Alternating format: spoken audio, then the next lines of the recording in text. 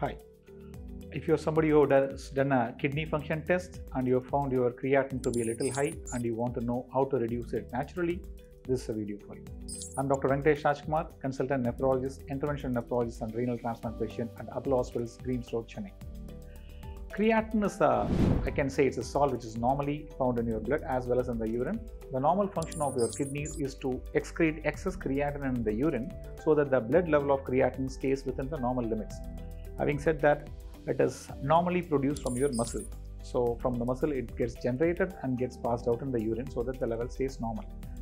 So you can you have to understand a little bit here. So somebody who is really muscular, for somebody who goes to the gym regularly and is muscular, her baseline or his baseline creatinine can be a little high. On the other hand, for somebody who is very thin without much muscle mass, the baseline creatinine itself is very less, maybe even less than the lower limit of normal. So you cannot take a call just only based on a slightly high or low creatinine. You have to fix that creatinine to that particular patient and take a call. Yes. Now let's say you've done a renal function test, kidney function test, and uh, creatinine is found to be a little high. So what to go, how to go about that? It all depends on what is the reason. Sometimes it could be a simple remedy like increasing your water intake a little bit that will solve the issue and creatinine becomes normal in a day or so. Again, sometimes it could be very simple by stopping some of the medicine, which is the real reason for your little high creatinine. May it be allopathic medicines or some native medicines. All you need to do is to find it out, reduce it, stop it, and the creatinine becomes normal. Or sometimes it is a little more than that. For example, whenever I see as a nephrologist somebody with a high creatinine, the first thing I'll try to understand is if the patient has got a kidney problem which is acute or chronic. Acute is a kidney problem which happens over a period of days to weeks. On the other hand, chronic kidney problem is something which happens over a period of months to years.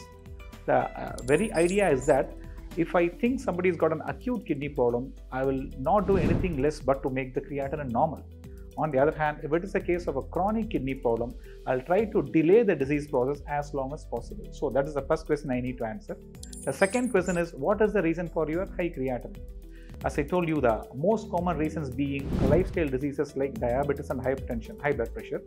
By controlling these two properly, by keeping the numbers within limits, we can make the kidneys function normally for a long period of time. We can maintain the creatinine for a long period of time, even if it is a little high. On the other hand, if it is a case of an acute kidney failure, just to give an example, let's say uh, somebody has taken a, a, pill and it has reacted and the patient has got a high creatinine. Somebody has got a significant loose motions, dehydration, consequently high creatinine. Fever, let's say malaria or the rat fever or something and consequent kidney problem and high creatinine. These are the examples for acute kidney problem. In all these instances, if we get to the root cause correctly and treat it properly, your kidney functions can get back to normal even let's say the patient needs dialysis for a temporary period of time. On the other hand, if the patient has got what is called a chronic kidney problem, which is the kidneys, the creatinine has been rising over a period of months to years, we should try to keep it under control. It may not be essentially cured, but you can try to keep it under control for a long period of time. So it all depends on what is the reason.